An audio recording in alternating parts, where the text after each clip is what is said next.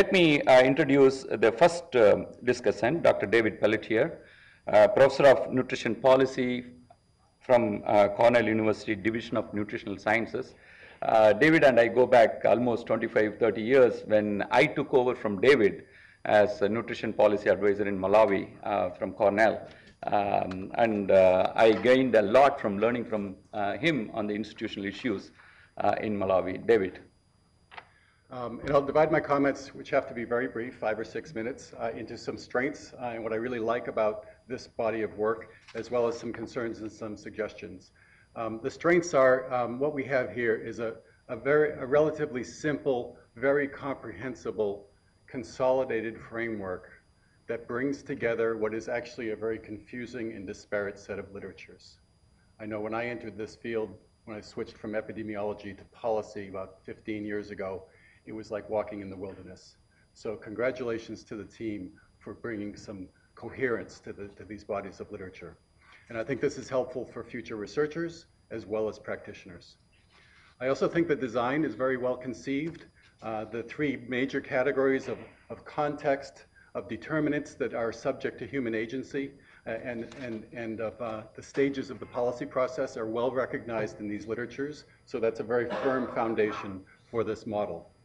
Um, one side note here is that it would be good, I think, to be more transparent in the paper which I reviewed about the sources that were used to identify the constructs that are in the various components of the model. Maybe even making a matrix showing um, out of the papers or, or, or, or, manuscripts that were reviewed, which of these constructs came from which of the papers. I've seen other work in the implementation science literature that does this, and it's much more transparent and rigorous.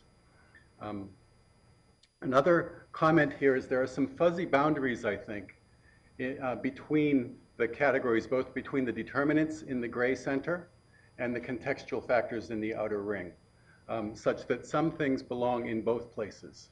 Uh, and some of the factors, in fact, uh, belong in different slices of the, uh, of the determinant, um, determinant category. So things like incentives and legal frameworks uh, and, and research reports and publications can be instrumental at multiple stages in the policy process, not just at agenda, agenda setting or adoption, for instance.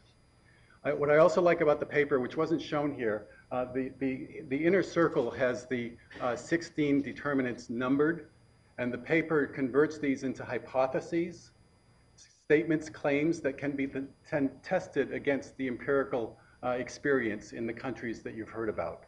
That's a very nice piece that often in this body of literature, we don't see that kind of, of clear thinking and, and, and hypothesis testing. I do think, again, as a side note here, we still have some measurement problems uh, in some of, um, some of the, the evidence that needed to test those hypotheses. It's kind of squishy. Uh, and, and propitious timing was mentioned in one of the presentations. That's one example, but I think there are many others.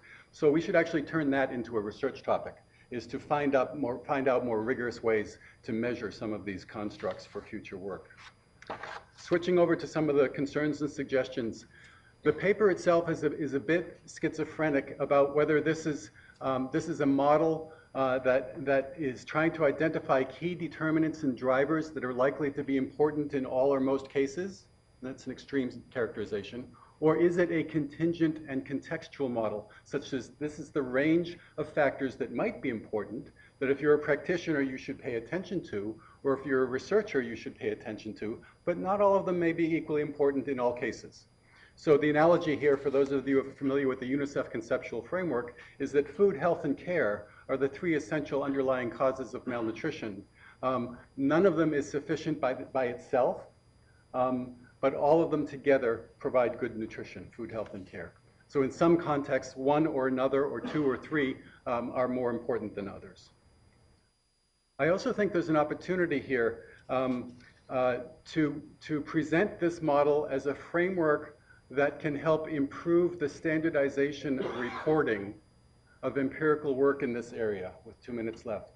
Um, uh, because right now, people approach a given policy situation for research purposes with diverse frameworks, diverse methods, and they're going to look at some factors but totally ignore others. Well, this represents a template that perhaps all researchers should give a fair consideration to in, before they design their study. And so it would be very helpful to promote this as a tool that would standardize research in this area so that we can have a, we can have some good comparative work over time and really build a body of science around this. Um, very quickly, there, I think there are a few elements that are missing or underdeveloped uh, in, in, the, in the model, or there's some in, in, inaccurate inferences or claims made. Um, one relates to cohesion, consensus, and conflict. It's really not in the model, but Jeremy, Shiffman, Jeremy Shiffman's work clearly identified that as, as a major important thing at the agenda setting stage. And in our work in the mainstreaming nutrition, uh, within the nutrition policy community, uh, disagreements and conflict, conflict seem to abound in many, many countries and, and get in the way of progress. Um, so it'd be useful to bring that on board. Related to that, a claim was made that, that in the case study of, of Zambia at least, um, RCT evidence, randomized controlled trial evidence that, that we have access to in nutrition, uh, provides clear answers and clear consensus as to what needs to be done, but we don't have that on the, in the subsidy side. Um, I would take issue with that. Um, uh, the, the, RCTs can establish efficacy for something, but, but that's just the first step uh, in, in, perhaps identifying a potential solution to a problem. But you still have to choose between supplementation or fortification or food-based approaches. And then there's a whole suite of, of, um, of decisions to be made about how to implement it, who's going to take leadership, who's going to have different roles and responsibilities, and so on. And those all can become the basis for conflict and disagreement. Think with the time available, I'll stop there. Very nice piece of work. Thank you.